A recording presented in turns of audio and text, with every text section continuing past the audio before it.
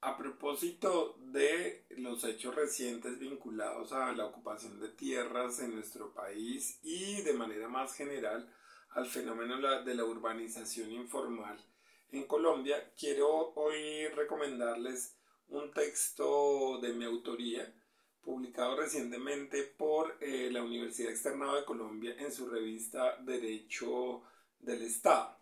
El artículo se denomina Urbanización informal, giro constitucional y activismo judicial en Colombia.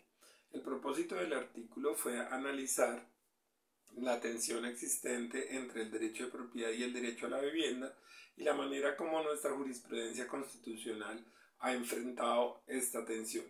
Se parte del análisis del fenómeno de la informalidad y una vez analizado, se trata de entender la manera como el Estado colombiano ha enfrentado estos fenómenos a través de una de las vías que ha sido básicamente la utilización de medios policivos de desalojo.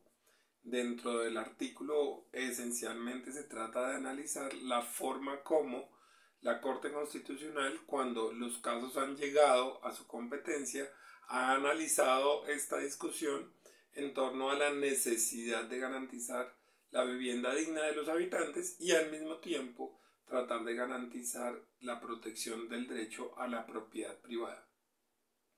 Eh, los invito a eh, consultar el texto y espero que resulte de gran utilidad para eh, aquellos que trabajen estos temas o tengan un interés particular en ello. Muchas gracias.